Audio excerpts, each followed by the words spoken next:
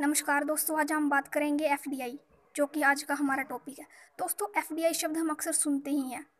दोस्तों एफडीआई की जो फुल फॉर्म है, वो है फॉरजन डायरेक्ट इन्वेस्टमेंट इन्वेस्टमेंट यानी कि एक इस ऐसी इन्वेस्टमेंट है, जो विदेशियों के द्वारा की जाती है और कंपनी का जो कंट्रोल है, वो विदेशियों के हाथों में होगा। सिंपल सी अगर भाषा में हम बात करें तो किसी एक देश की कंपनी का दूसरे देश की कंपनी में किया गया इन्वेस्टमेंट एफडीआई कहलाता है।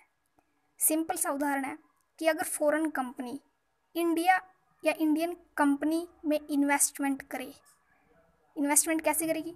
शेयर या डिवेंचर को परचेज कर लेगी या कंपनी इंडिया में आके इस्टेब्लिश कर लेगी। तो वो होता है एफ़ डी आई दोस्तों एफ़ डी आई दो तरह से हो सकता है। नंबर दो portfolio investment and greenfield investment portfolio investment यानी जो फॉरजन कंपनी है, वो इंडिया कंपनी के कुछ शेयर या डिवेंचर को परचेज कर लेगी। नंबर दो, ग्रीनफील्ड इन्वेस्टमेंट दोस्तों यहाँ पे जो फॉरजन कंपनी है वो इंडिया में आके अपनी कंपनी को इस्टेब्लिश करेगी। तो दोस्तों, अगर इंडिया में कंपनी जो है, अगर एफ़ कंपनी इंडियन कंपनी के कुछ शेयर को परचेज कर ले तो जो एफ़ कंपनी है, वो शेयर होल्डर बन जाएगी इंडियन कंपनी की।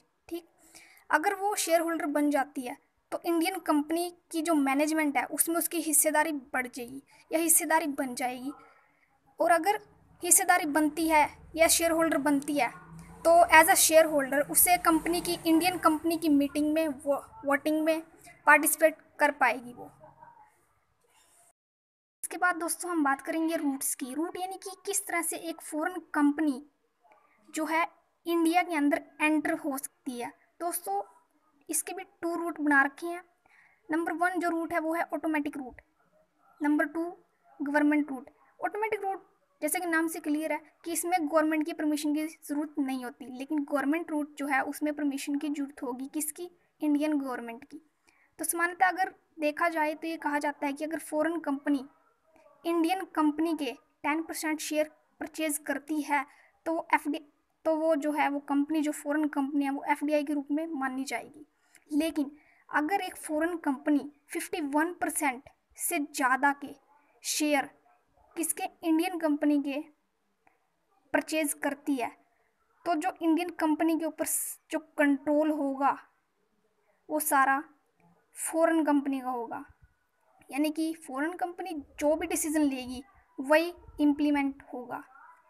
इसके अलावा इसीलिए कहा जाता है कि जो फॉरेन कंपनी अगर फिफ्टी वन परसेंट से ज़्यादा शेयर खरीदती है इंडियन कंपनी के तो जो फॉरेन कंपनी है, वो होल्डिंग कंपनी मानी जाएगी और जो इंडियन कंपनी है, वो सब्सिडरी कंपनी होगी।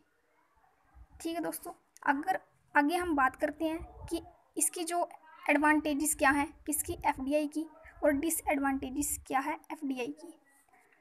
दोस्तों एडवांटेजेस ऑफ़ एफडीआई में फ़र्स्ट जो है हमारी एडवांटेजेस इनफ्लो ऑफ़ फंड्स दोस्तों एफडीआई से जिस देश में वो मतलब कि जिस देश में वो कंट्रोल या शेयर परचेज करती है, या कंपनी को खड़ा करती है तो जो इनफ्लो ऑफ़ फंड है, वो बढ़ेगा उस देश का। कैसे? क्योंकि वो आएगी और वो फॉरेन करेंसी लेके आएगी। तो ये इसका फीचर या एडवांटेजेस लगा सकते हो आप। इसके अलावा हाई टेक्नोलॉजी दोस्तों, अगर कोई फॉरेन कंपनी इंडिया में आकर इन्वेस्ट करती है तो ज़ाहिर सी बात है कि जो टेक्नोलॉजी है, वो भी न्यू होगी एडवांस होगी। इसके अलावा एम्प्लॉयमेंट जनरेशन दोस्तों इससे अगर एक फ़ॉरेन कंपनी हमारे यहाँ इंडिया में आगे शेयर वगैरह शेयर वगैरह परचेज करती है कंपनी इस्टेब्लिश करती है तो तो एम्प्लॉयमेंट जनरेशन या जनरेट होने के काफ़ी आसार हैं। इसके अलावा इंक्रीज टैक्स रिवेन्यू दोस्तों इंक्रीज टैक्स रिवेन्यू जिस भी देश में वो फ़ॉरेन कंपनी शेयर परचेज करती है या ही अपनी हिस्सेदारी बनाती है, या कंपनी को इस्टेब्लिश करती है तो इससे जो उस देश की गवर्नमेंट है, उसको भी काफ़ी बेनिफिट होता है। क्योंकि कंपनी उस देश में अपने व्यापार को ऑपरेट करने के लिए जो इनकम अर्न करेगी, उसके ऊपर उसको एक फिक्स परसेंट से गवर्नमेंट को टैक्स देना होगा। इसके अलावा हाई क्वालिटी ऑफ़ प्रोडक्ट ये सिंपल सी बात अगर दोस्तों फॉरेन कंपनी जो एडवांस कंपनियाँ होती हैं अगर वो यहाँ पर आकर हमारे इंडिया में आके अगर आ, ये परचेज शेयर करती है कंपनी को इस्टेब्लिश करती है तो जो जो यहाँ पे जो बन रहे हैं प्रोडक्ट उसमें काफ़ी कंपटीशन होगा जिसके चलते कंपनियाँ न्यू टेक्नोलॉजी या हाई स्टैंडर्ड के प्रोडक्ट को उतारेंगी। तो प्रोडक्ट की क्वालिटी में वो ज़्यादा से ज़्यादा फोकस करने की कोशिश करेंगी। उसके बाद आता है दोस्तों डिसएडवांटेजेस ऑफ़ एफ़ दोस्तों डिसएडवांटेजेस में सिंपल सी इसके मीनिंग से ही निकली है ये डिसएडवांटेजेस की फॉरन फॉरजन कंट्रोल दोस्तों अगर वो शेयर होल्डर बनती है और फिफ्टी वन परसेंट से ज़्यादा जो है वो शेयर को परचेज करती है तो सिंपल सी बात है कि कंट्रोल इंडियन इंडियन कंपनी का नया होके उस फॉरेन कंपनी का ही होएगा। इसके अलावा हार्मफुल होएगी किसके लिए? डोमेस्टिक कंपनी के लिए। दोस्तों, अगर एक फॉरेन कंपनी इंडियन कंपनी के यहाँ शेयर को परचेज करती है या अपनी कंपनी को इस्टेब्लिश करती है तो जो हमारी डोमेस्टिक कंपनीज़ हैं, उनके लिए ये नुकसानदायक होगी। क्योंकि कंपटीशन ज़्यादा होगा तो जो हमारी डोमेस्टिक कंपनी है, वो पिछड़ जाएँगी। तो देन थर्ड आता है आउटसाइड मैनेजमेंट एंड कंट्रोल दोस्तों सिंपल सी बात, वही पॉइंट को घुमा के यहाँ पे लिखा गया है कि अगर कंट्रोल बाहर का होगा तो इंडिया का कंट्रोल कम होगा और जो डिसीजंस हैं नई नई पॉलिसीज़ हैं, वो सारी फॉरेन कंपनी की होंगी। इसके अलावा रिपार्टीशन ऑफ़ प्रॉफिट दोस्तों, अगर F D F D I जो कंपनी है, वो इंडियन या इंडिया में आके शेयर को परचेज़ करती है या अपनी कंपनी को इस्टेब्लिश करती है तो दोस्तों वो यहाँ से पैसा जो कमाती है या जो उसे प्रॉफिट होगा, उसका एक एक फिक्स जो अमाउंट या हिस्सा है, वो अपने वापिस जिस जिस देश से वो आई है, उस देश में भी लेके जाएगी। तो ये भी थोड़ा इसका डिसएडवांटेज में आ सकता है। इसके अलावा दोस्तों, जो अब हमारा मेन टॉपिक है that is foreign direct investment in retail दोस्तों, जो हमारा सब्जेक्ट है। तो किस तरह से एफडीआई रिटेलिंग के क्षेत्र में या रिटेलिंग के सेक्टर में एक उभरता हुआ रास्ता है, ठीक है? तो इसके पर्पज़ क्या है? रिटेल सेक्टर के अंदर एफडीआई के पर्पज़ क्या है? तो नंबर एक पर्पज़ है दोस्तों, हमारी जो इंडियन जो लोग हैं, उनकी परचेजिंग पावर को इंक्रीज़ करना। एंड दूसरा है, जो ब्रांड्स हैं, उनकी पॉपुलैरिटी या उनकी प्रसिद्धि का प्रसार करना। इसके बाद आता है दोस्तों रिटेल सेक्टर जो है, जैसे कि मैंने पीछे बात की थी कि F D I in retail तो रिटेल सेक्टर में जो इसे है, दो भागों में डिस्ट्रीब्यूट किया गया है।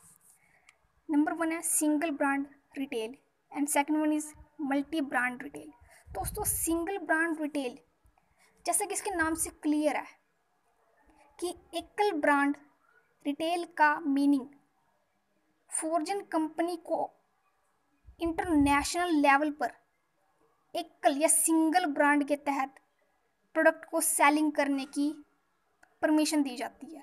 इसका सिंपल सा इस, ये मीनिंग है।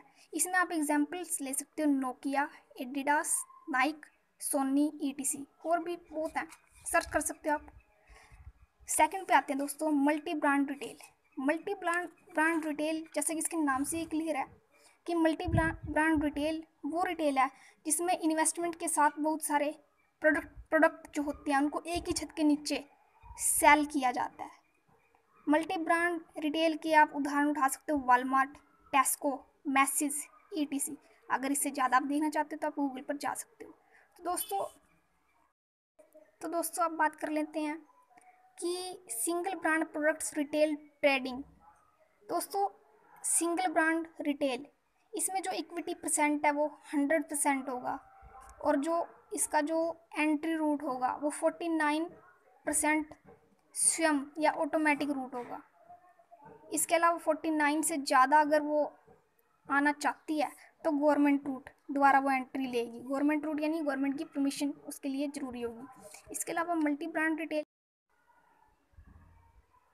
इसके अलावा दोस्तों मल्टी ब्रांड रिटेल जैसे कि इसके नाम से क्लियर है कि जो सिंगल ब्रांड रिटेल था, वहाँ पे सिर्फ़ एक ही ब्रांड से रिलेटेड एक ही प्रोडक्ट लेकिन यहाँ पर दोस्तों एक ही छत के नीचे एक से ज़्यादा ब्रांड।